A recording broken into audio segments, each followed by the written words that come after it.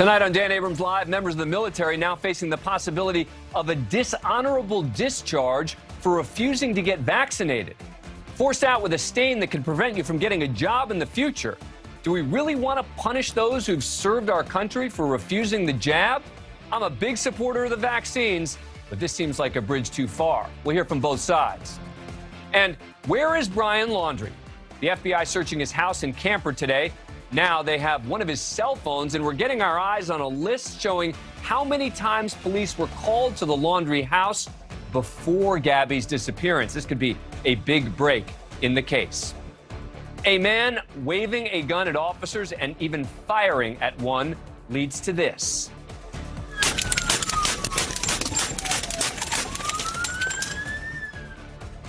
Incredibly, no one was hurt, but it's just another real life example of the dangers cops face every day. Dan Abrams Live starts right now.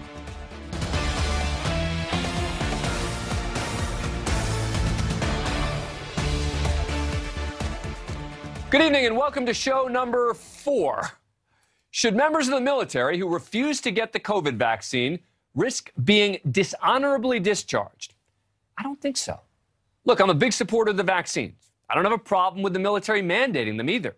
After all, some members of the armed forces are required to have as many as 18 different vaccines, including the COVID jab, depending on where they're serving. But all service members, no matter where they're stationed, are required required to have nine different vaccines, including chickenpox, hepatitis A and B, MMR, rabies, typhoid, polio, influenza. You can't refuse. Okay, but a dishonorable discharge? Isn't that for the highest of offenses? Desertion, fraud, murder? As a result, you lose all your vet benefits like health care, insurance, money for school or work training. You know, Republican senators Lankford, Tuberville, Cruz, and Marshall are now fighting to prevent active service members who refuse the vaccine from being dishonorably discharged. Senator Marshall explained it. If they're giving a dishonorable discharge, then that soldier is going to lose their benefits. They're going to have problems getting a job in the future. They'll lose their, their benefits of getting a free education as well as health care. The Biden administration has come out against an amendment to the defense budget that would prevent the Pentagon from dishonorably discharging service members who refuse to receive the COVID 19 vaccine. Look, this is one of these topics where I could be convinced that I am wrong. But it seems to me that this just goes too far. There are many in this country who fear the vaccine. I think vaccine resistance is unfounded. I think it's dangerous. But I don't think I want to punish those who've served in the military for having questions or sometimes believing disinformation. A dishonorable discharge is for people who've done a disservice to the country, it seems to me, not for those who refuse. I don't know. Maybe they're misguided, but that's different. We're going to hear from both sides of this. But let's start with Jeremy Butler, the CEO of Iraq and Afghanistan Veterans of America. He served in the Navy and has worked for the Department of Homeland Security and the Department of the Navy. Thanks so much uh, for coming on the program. Really appreciate it. All right, look, you have served, I have not. So maybe I am missing something here, but why the, the draconian punishment of a dishonorable discharge for someone who fears the vaccine for whatever reason? Uh, yeah, thanks for having me on the show, Dan. And what I'd say is you need to take a step back and don't think about it as a punishment for refusing uh, a specific vaccine. Think about it as a refusal to follow a lawfully provided order. And that's exactly what we're talking about here. It doesn't matter if you're talking about a vaccine, if you're talking about a deployment order, if you're talking about an order to report to your next duty station, you raise your right hand to support and defend the Constitution of the United States. And part of that means following the orders that you're given. It doesn't matter if it, in your view, is a small order or a big order. If it's a lawful order, you follow it. And and let me just add, you know, this isn't hypothetical to me. I did serve on active duty. I'm still in the reserves right now. So this affects me. I've been ordered to get the shot. I have got the shot. Um, and that's part of being in the military. You know, you rattled off some of the, the vaccines that were required to get. Uh, just before coming on here, just out of curiosity, I went online uh, to check my medical record to look at some of the others that I've been uh, given over the years. And it, it's kind of crazy uh, when you realize just how extensive that is. That's part of being in the military. You know, I've been given the smallpox vaccine, yeah. typhoid, yellow fever, anthrax. I mean, the list goes on and on. I, Welcome to the military. fair enough. I, I, I get that, except there is something different. It's not that the vaccine is different, it's that the environment we're living in is different. And as a result, I can understand where people who may get information from only one source will be afraid. Um, and they will say, you know what? I'm afraid for myself. I'm afraid for my family. You say it's not a punishment, but a dishonorable discharge will, as you know, mess up the rest of your life. I mean, isn't there some? I say this as someone from a sort of support the troops perspective to say, I feel bad for these guys, and I don't want them to be punished like that with a dishonorable discharge. And I don't either, you know, and I think that's why the Department of Defense is doing everything possible to educate service members properly. I don't think we can let disinformation decide how we run our military. And that's the problem here. At the end of the day, it's a bigger issue of disinformation running rampant in this country. And it doesn't matter if we're just talking about vaccines, global warming, you name it. We cannot let disinformation, misinformation, straight up lies change how we run a institution, especially as important as the Department of Defense. I'm absolutely with you. I hope it doesn't come to the point of anyone getting a dishonorable discharge because you're right. That is a very severe punishment, but so is not following orders within the military. Uh, so, you know, yeah. the military has been given a lot of time uh, to get their vaccines. It's not as if they have to have it by tomorrow. Uh, we're taking the time to educate uh, every service member, and hopefully they realize that this is the safe, correct thing to do, uh, and they follow through and get the uh, get the the vaccine. Jeremy, thank you so much for coming on the program. We appreciate it. Now, on the other side of this argument is Greg Rinckey. He's representing multiple clients in the military seeking COVID vaccine exemptions. Greg, thanks a lot. Uh, appreciate your time as well tonight. Um, you know, what do you make uh, of that argument, which you just heard, which is it's a lawful order. It's like every other order when it comes to a vaccine. And as a result, you don't want to follow an order, you get the punishment that comes with it. Well, I think there's a fundamental misunderstanding of most uh, troops that if they fail to follow the order, they're likely going to receive what's called non judicial punishment. And then if they are separated from the military, they're going to be separated from the military with either a general under honorable conditions discharge or an other than honorable discharge. The, the vast majority, and I would I, I would highly doubt that any troops are going to be dishonorably discharged. A dishonorable discharge is reserved for rapists, child molesters, and the worst right. of the worst. So it's more than likely if they are discharged, they're going to be discharged with a general or an other than honorable discharge, which still is going to stigmatize them in, in, civilian life and they're going to lose some of their benefits. But it's more than likely not going to be a dishonorable discharge.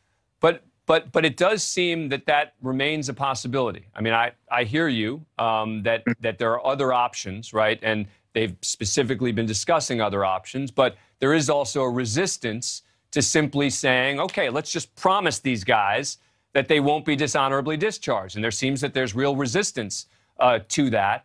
Um, you know, why do you think there's that resistance? Well, I mean, the only way to get a dishonorable discharge is through a court martial. So, any of these troops that uh, do not take the vaccine and take their case to a court martial, it's going to be up to a panel of their peers um, or a military judge to to give them that dishonorable discharge, and then that has to be approved by a general officer. So it, it's on the table, but the vast majority, and I would say all of the one, all of the service members that we represent now, basically what's happening is they're getting non-judicial punishment and then being separated with either a general or an other than honorable discharge. And and are you fighting those? I mean, how are you fighting them? And yes. what do you make? Yeah, go go ahead. Yeah.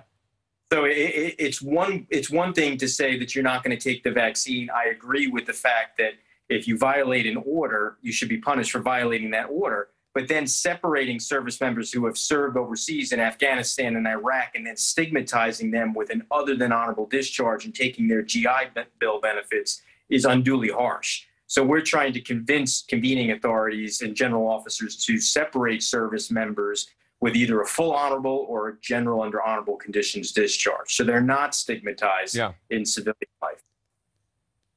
Look, and I, but I hope in the context of that, because I agree with your, your position, that you're also encouraging them to get the vaccine, saying to them, look, you get nine, you know, eight other vaccines, nine other vaccines. Sometimes you get 17 other vaccines. You know, uh, why is this one so much different? Are you saying that to any of your clients? Well, uh, of course, but remember that a lot of service members, their hesitancy is because of going back to the anthrax vaccine that the military you know, gave a lot of their service members in the early 90s, and it was experimental use, and then there was issues and Gulf War syndrome. So there's a lot of distrust amongst military members with vaccines, especially one that they feel has been right. rushed to into production. Yeah. All right. Um, well, look, I, I, think despite my position that uh, sides with you on the issue of uh, punishing them, boy, I hope we encourage them uh, to get the vaccines. I just don't want to punish them. That's to me the the key difference. Thanks a lot for coming on the show. Really appreciate it. Coming up, progressives preparing to sink a bipartisan agreement on infrastructure. Seems to me that's bad for them and bad for the country. And a shootout between police and a suspect forces a cop to shoot through the windshield to protect himself. It's all caught on dash and body cam. Sean Sticks Larkin from Live PD joins us to dig in on this insane moment coming up. Welcome back. You would have thought a vote to fund the government would have bought some time for progressives to come to their senses and pass a $1.2 trillion bipartisan, let me stress that word, bipartisan infrastructure bill that's currently on the table. But apparently it's not enough time because progressives are preparing to sink it. This whole thing makes me kind of nuts if you're anything but the far left of the Democratic Party, or the far right of the Republican Party for that matter, you should want this bill to sail through Congress. Instead, the progressives are threatening to hold out, demanding that a separate $3.5 trillion package be passed as a condition for their support. Now, if you watch MSNBC or CNN, you'll see a regular parade of progressives demonizing moderate Democratic Senators Joe Manchin and Kyrsten Sinema as if it's their fault that the progressives tied the two issues together. Until Senator Sinema stops being cute and starts doing her job and leading for the people of Arizona, we're simply not going to be able to move the president's agenda forward. It is saddening to see them use Republican talking points. We obviously didn't envision having Republicans as part of our party. Senate Republicans are gleefully cheering on economic destruction, full stop and solely to make a purely political point to punish President Joe Biden and Democrats for wanting to pass a once in a lifetime proposal that would reshape the economic future for Americans like you. The progressives keep talking about how this is a once in a lifetime opportunity to pass this separate spending bill to enact social programs they've long pushed for, such as expanding Medicare, universal pre K, tuition free community college. But if Manchin and Sinema aren't on board and they have no Republican support, it's not a once in a lifetime opportunity. It's not an opportunity at all. It's not happening. And it's a separate issue. The $1.2 trillion bipartisan bill, which passed 69 to 30 in the Senate, provides, among other things, $110 billion for roads and bridges, $65 billion for the power grid, 55 billion for water infrastructure, 47 billion for cybersecurity, 21 billion for the environment. So it seems the progressives are prepared to lose those infrastructure upgrades, not because they're not good, but because they're not good enough. Even from their perspective, it should be about doing something good for the country, even if it's not great and transformative. Earlier today on Capitol Hill, Manchin announced he's willing to move his top line number up to 1.2 1.5 trillion dollars on the separate bill, and he rightly puts the onus for the gridlock on the far left where it belongs. You communicated this top line number to Congresswoman Jayapal or any progressives in the House who are now threatening to sink the infrastructure bill today. Yeah, it's a shame for that because no two bills should ever be linked together to the point where you're going to let the perfect be the enemy of the good. Never. I've never. I've been around for an awful long time in state and now in federal politics, and that should never be the case. Sounds like it makes sense. One person who's celebrating the far left's intransigence is former President Donald Trump. For weeks, Trump has been railing against the bill, calling for the quote RINOs who passed it to be voted out of Congress, much notably, most notably, Mitch McConnell. The former president wants this to fail because if it passes, it shows that the parties can work together. And politically, that's the last thing that Donald Trump wants you to see under a Biden presidency. So we have President Trump and his supporters joining with the far left to try to sink this because it's not good enough for any of them. The rest of us in the middle who just want infrastructure upgrades and want the government to work in a bipartisan manner like it's supposed to become the losers in all this. Joining me now, talk about the latest and what has been a crazy week on Capitol Hill, is News Nation's Washington Bureau Chief Mike Viqueira. Mike, it is great to be with you again. You and I are old hey. pals from back in the day. so bring us up to date, first of all. Is this really dead? Ed, Dan, it's great to be with you. I got to tell you right off the bat. No, it's not dead. And listen, Manchin's $1.5 trillion proposal, the number he put out there in front of a scrum of reporters outside the Capitol, is not a hard number. It's also a negotiating position. It's not over until, well, the fat lady sings, as they used to say in sports. Uh, but the artificial deadlines in Washington are always coming and going, Dan. Uh, and this is a negotiation uh, that doesn't have a set deadline uh, perhaps by the end of the year, and it's likely to continue until then. Yes, everybody talks about Washington gridlock. Everybody talks about nothing to get done. Just a couple hours ago, they passed a spending bill uh, to keep the government open for nine more weeks, and they celebrated like it was a great ac accomplishment, which is in itself an indication of the dysfunction in the legislative process and politics in Washington. Uh, but this, look, you talked about it. The progressives feel like this is their only point of leverage that they have. It's not done yet. There's still going to be talks going on. As it stands right now, as I stand here right now in the Capitol, uh, the Speaker of the House is meeting with administration officials. A few of them just walked out of her office. They're trying to find a way to force this uh, infrastructure bill, the smaller one, the roads, the bridges, the broadband, the rails, onto the House floor. Obviously, progressives feel like this is their leverage point. They're not going to vote for it, but it's not done. Dan, this is part of and the legislative process, uh, hardball negotiations. One of the things that people don't talk about is also that Republicans are split on this. We focus a lot on how the Democrats are divided on this. The Republicans are divided on this as well, right? There's the moderates versus uh, uh, the what you could call the, the far right or the Trump supporters, whatever you want to identify them as. Right. Well, look, I mean, the, the, poster project for the infrastructure bill is a bridge that runs from Ohio to Kentucky, right? From Cincinnati area uh, into Kentucky. People have been talking about this thing for years. Okay, Republicans are running Ohio. Republicans certainly are running Kentucky.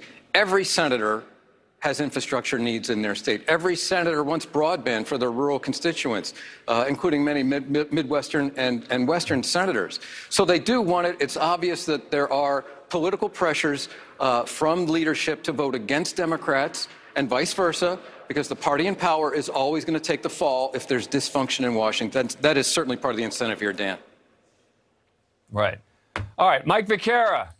We look forward to seeing you a lot here. Great to see you. Absolutely. Great to be with you. All right. And I hope that this infrastructure bill passes. Coming up, where is Brian Laundrie? The plot thickens as the FBI returned to search his home looking for more answers in the death of Gabby Petito. Plus, new info on how many times police were called to the Laundrie house. News Nation's Brian Entin has been all over this story. He has all the late breaking details.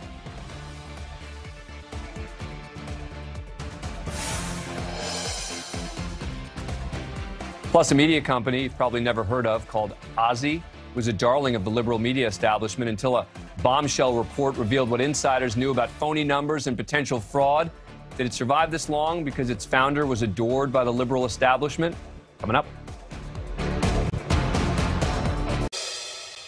The manhunt for Brian Laundrie heated up today with the FBI back at the family's North Port, Florida home today. According to the Laundrie family lawyer, Steven Bertolino, Investigators were collecting some of Laundrie's personal items to assist canines in their search. You know, who knows if he would actually know or if he's actually being totally honest about it anyway, but we'll see. The FBI issued an arrest warrant for Brian Laundrie over a week ago. At this point, he's officially wanted for using a debit card and a PIN not belonging to him. At least that's it for now. Now, many have wondered whether he might have died trying to survive in the wilderness or even at his own hand. And, you know, while that is possible, I would think if that had happened, they would have likely found his body already. So I think he's probably still out there. But let's get out to Northport, Florida. News Nation's Brian Entin is outside the Laundrie family home. Brian has been all over uh, this story, breaking news. Brian, what's new tonight? Well, new tonight, you mentioned it. It was a surprise this afternoon. We're just sitting out here like we always are, and all of a sudden, a black FBI SUV rolls up just after one o'clock. Two agents get out. They go right inside the Laundrie family house behind me. They're carrying a big brown paper bag. They take that inside. It's full of stuff. They go inside about 10 minutes, they come back out, and they go right to this camper that you see behind me, Dan. They open up the camper. They had a very small little glass uh, cylinder that they put evidence in from inside the camper. They put that into a cooler. Then they went back into the SUV and they were gone. The whole thing took about 30 minutes. What's up with these phone calls that came from the family home? When I first saw that, I was thinking, wow, that's a big deal. The police were at the home before and after Gabby's disappearance. What do we know on that? Yeah, so today we finally got the records back for all of these police reports related to the Laundrie family house. A lot of the more recent ones sort of make sense. It's the family calling the police because of the protesters outside. They actually called the police on Dog the bounty hunter when he showed up banging on their door and things like that. What was more interesting was there were two calls that related to the house that were made on September 10th, which is the day before Gabby went missing. And then there were three calls made on September 11th, the day Gabby was reported missing. Uh, we've learned tonight that most of these calls were actually from the Petito family uh, trying to track down their daughter. Uh, and we've been going back and forth with Northport police. It's interesting because the police are saying there was some confusion in the beginning because, according to Florida law, uh, they were telling the Petito family that they actually needed to report the missing case in the state where Gabby went missing from, which would have been Wyoming or Utah. So they were trying to explain to the family who they needed to call, and it appears there was a lot of confusion uh, when all of this started. All right. So as of now, those phone calls don't seem as sort of potentially significant as maybe they seemed when we first heard about it? Exactly. We got some clarification just within the last hour from okay. the police saying uh, that most of the calls were from the Petitos. All right, got it. Brian, thank you. Keep up the great work out there. Thanks, Straight Dan. ahead, a police pursuit coming to a head after a suspect shoots at police the madness is caught on dash and body cam. Retired Lieutenant Sean Sticks Larkin is standing by live to walk us through that explosive video up next. Now to our police cam segment, our continuing effort to show you a side of policing many in the media don't want to focus on, and that is the dangers police face on a regular basis. Tonight, an officer in Illinois forced to shoot through his own windshield during a chase the dangerous and life threatening moments caught on dash cam and the officer's body camera.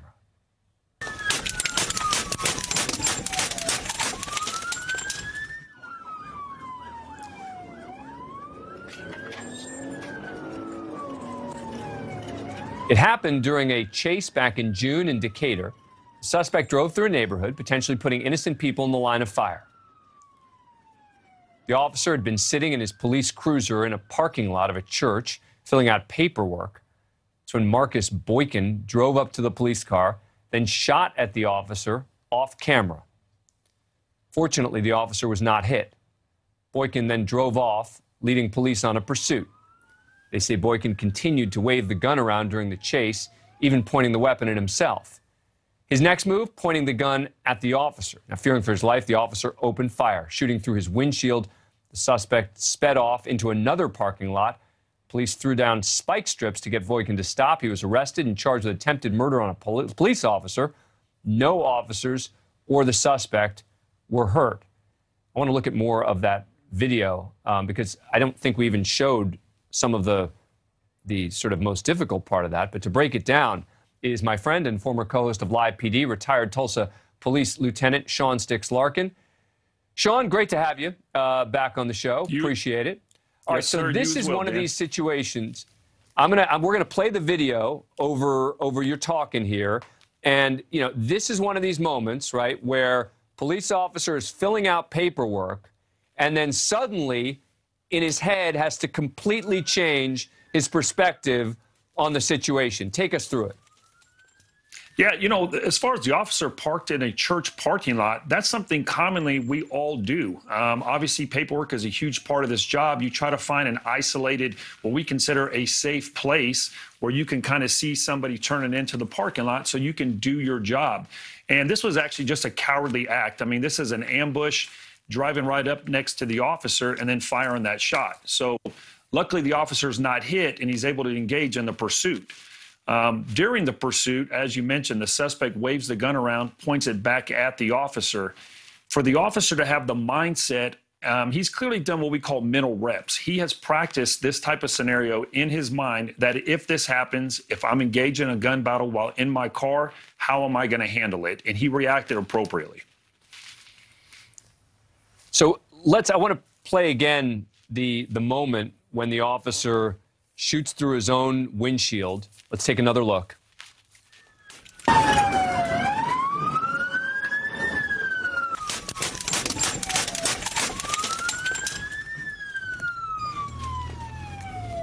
You know, Sean, I You think know, most uh, th- people don't realize.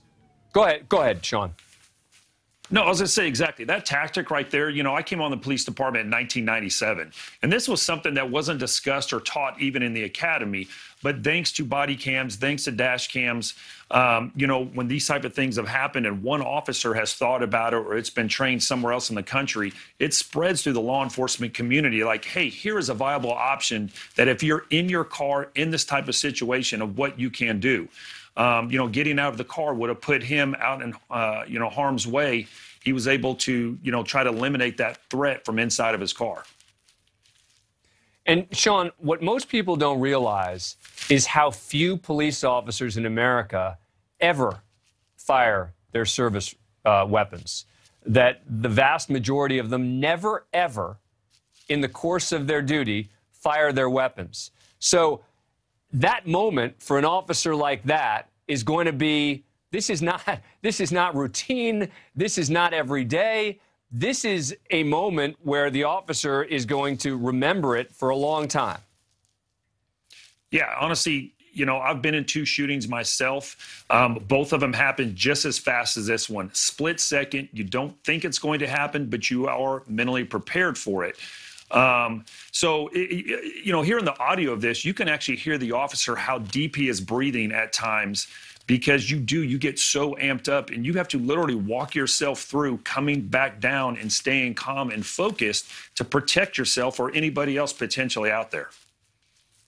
yeah and as you've explained to me before that anytime there is any sort of significant incident be it a shooting or even less than that typically you'll want other officers to come to the scene afterwards because the one officer will be so you know amped up and and so you know um, energized whatever the word is over what had just happened and you don't want that officer then following up on the incident Yeah, exactly. You know, and, and, and use the word amped up. And, and I've seen it the opposite. You know, um, I was one of the officers that responded to officer involved shootings to counsel or be present with other officers because I've been through those situations myself. And everybody reacts different. You have some of the hardest, toughest guys that are out there on the street, and they get involved in a deadly force uh, incident. And once the realization of what they've just been through, how close they came to potentially dying, how close, uh, you know, it came to them taking somebody's life, or possibly they did. And they have a big, big mental drain, and some guys just break down. Everybody handles it differently, um, and that's why it's important for these agencies to have other officers to go through it with them. Yep, and and this is uh, to remind people: neither the officer or the suspect in this particular incident uh, ended up getting hurt. Um, Sean Larkin, great to have you on the show. We're looking forward to you being a regular right here on the uh, on the program. We'll see you again soon. Yes, sir. Coming up, a darling of the liberal media establishment accused of being all smoke and mirrors, but it's gotten almost no cable news coverage. Sure feels like a double standard at work here. That's up next. Welcome back. If I told you there was a media company run by a well connected, charismatic conservative, which had raised tens of millions from conservative leaders and had partnerships with major conservative media companies, and then if I told you that its co founder digitized his voice on a conference call to pretend to be a YouTube executive talking about how awesome the company is, and that the New York Times exposed said business as largely being a fraud, you would presume the story would be covered beyond the world of the inside the media bubble critics. Be everywhere. But as you can probably guess, this story is about a progressive media darling you still may have never heard of. The company is called OZY, and it claimed to have a huge audience. And its host was, quote, they had billboards, the best interviewer on TV. Over the weekend, the New York Times' Ben Smith detailed how an OZY executive impersonated a YouTube exec in a brazen attempt to close a $40 million investment from Goldman Sachs. It's a plan so crazy, even Ferris Bueller probably would not have dared to try it. And now the FBI is reportedly looking into it. Once Goldman figured out what was going on, OZY's chief executive Carlos Watson admitted what happened and apologized for their COO and his co founder, Samir Rao's effort and blamed it on a mental health issue. Even tried to take credit for standing behind him. Quote, This was a very personal mental health issue that afflicted a very good friend and a valued colleague. OZY took the matter seriously. We reviewed it and decided to treat it for what it was a medical issue. Except that before the conference call even took place, someone provided the Goldman Sachs team with a fake email address for their fake YouTube rep. Now, Watson denies being the source of the fake email address. Carlos Watson is a former CNN and MSNBC personality and is the company's top on screen talent, in addition to its chief executive. I've met Carlos. I like him. He's a, a nice guy. He helped OZY land more than $70 million in investments from people like Laurene Powell Jobs and Milwaukee Bucks owner Mark Lasry. Earlier today, Lasry resigned as OZY's chairman after taking the job earlier this month. Now, he had defended OZY in the New York Times article. For years, Watson and OZY raised eyebrows over claims about its audience size, this despite few people outside of the media world even knowing it existed. The numbers simply didn't add up, but no one asked why. So, if OZY had been pushing Trumpist talking points, would people have asked more questions about the claims that it was making? CNN's Brian Stelter called this the biggest open secret in digital media.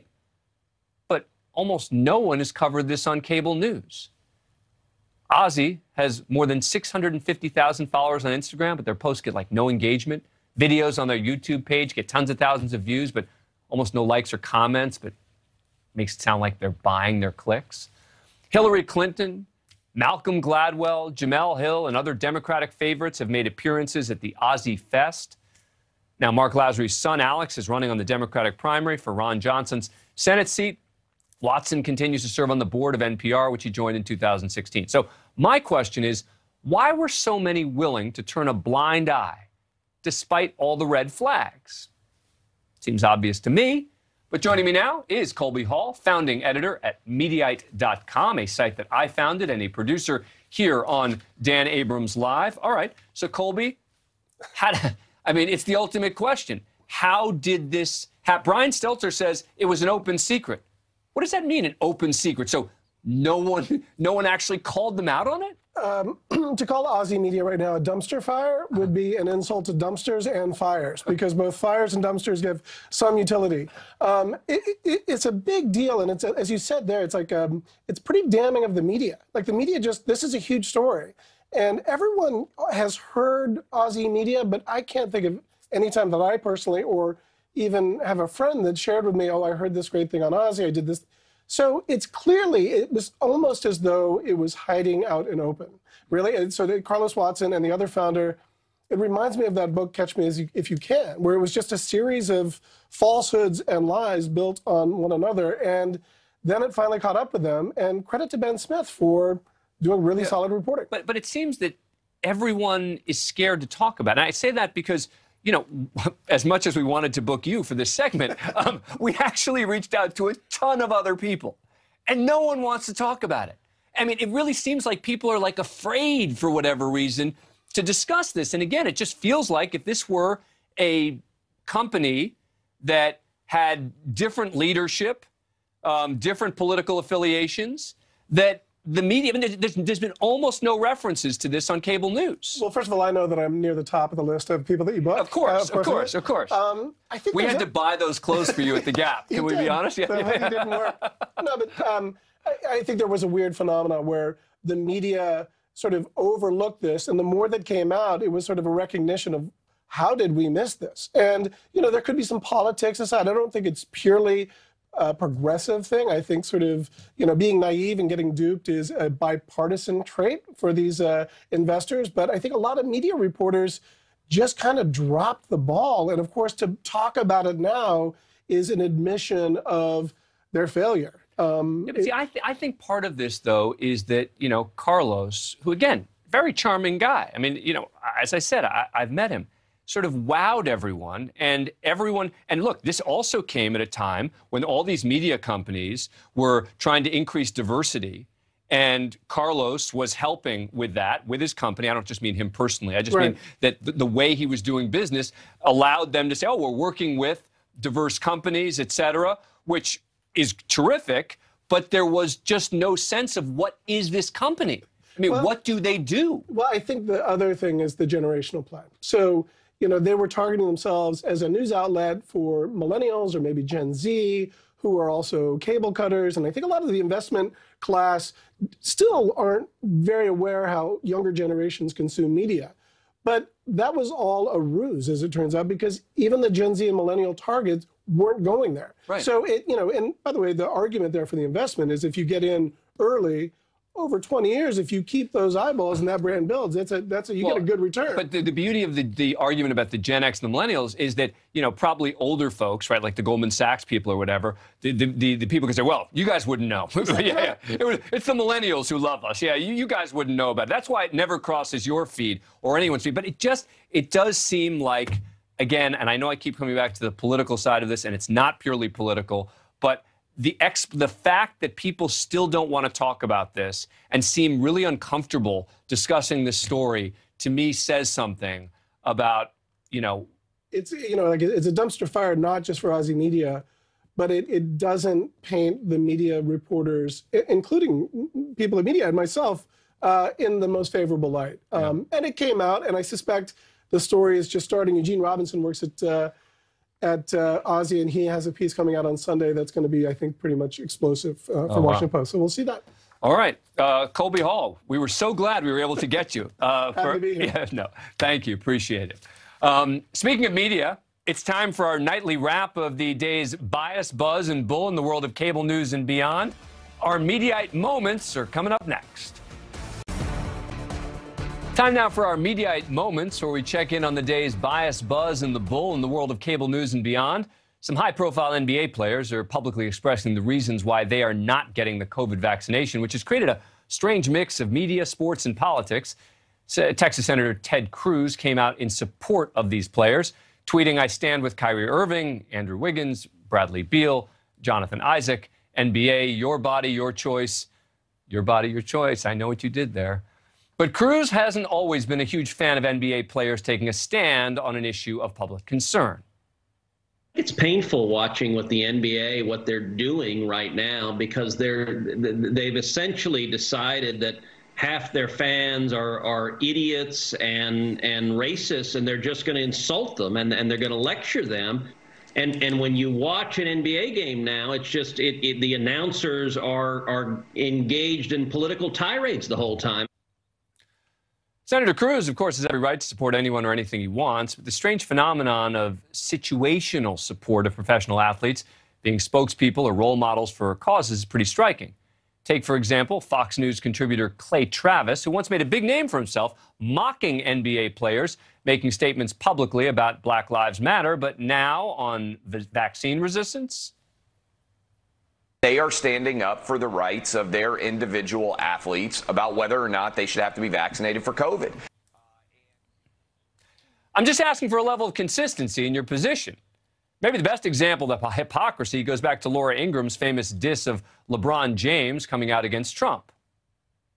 Keep the political commentary to yourself, or as someone once said, shut up and dribble. So if your position is we shouldn't listen to athletes on issues outside of sports, okay. Except that's very different from, for example, what she said about Drew Brees' complaints about kneeling during the national anthem. He's allowed to have his view about what kneeling and the flag means to him. I mean, he's a person. He has some worth, I would imagine. I mean, this is beyond football, though. This is totalitarian, totalitarian conduct this is a bipartisan phenomenon, by the way. Here's how Joy Reid reacted to Ingraham's comments then. There is this extent to which Fox News has decided that the, the, the, the grist for the ratings mill Yes. is black people, Right. black NFL players, black NBA players. So three years ago, she's calling out Fox News for taking shots at NBA players. And then this week, she was taking a shot at NBA players. We're talking about black players who have a lot of fans and a lot of influence and are parroting some of the anti vax stuff that we hear just in our circles. And if they're saying it, if Kyrie Irving is saying it's just a conspiracy, it's very hard, you know, for you to get your cousin to, you know, to get vaccinated as well. So if an athlete says something you agree with, then it's a voice that should be heard. You know, I think Charles Barkley has this right. I don't know who's worse, the League of People, the Democrats, or the Republicans. That's all three of y'all are y'all are screwed up our country. and, and- and, yeah, I says the Democrats and Republicans are the two worst things that ever happened to America. And now we have to pick uh, uh, the the least of two evils, and it's just it's a joke right now.